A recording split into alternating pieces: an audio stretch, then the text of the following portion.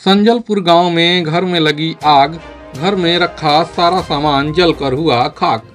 जीरादेवी प्रखंड के मियाँ के भटकन पंचायत के संजलपुर गाँव में आज सुबह में शिवसागर यादव, पिता शिवपूजन यादव के घर में आग लग जाने से सारा सामान जलकर राख हो गया। घटना के संबंध में बताया जा रहा है कि सुबह में घर के लोग खाना बनाकर चूल्हे से निकली राख को राख के ढेर पर फेंकाए थे। उसी में से चिंगारी निकलकर हवा के साथ उड़कर घर पर जा गिरी। जिससे घर में आग लग गई।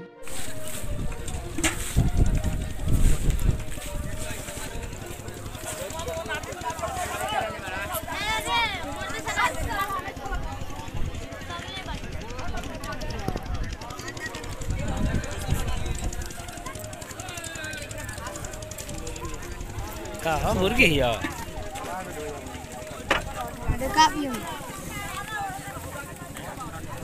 Kapium.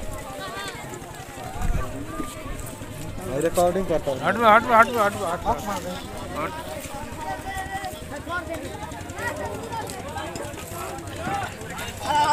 थोड़ी देख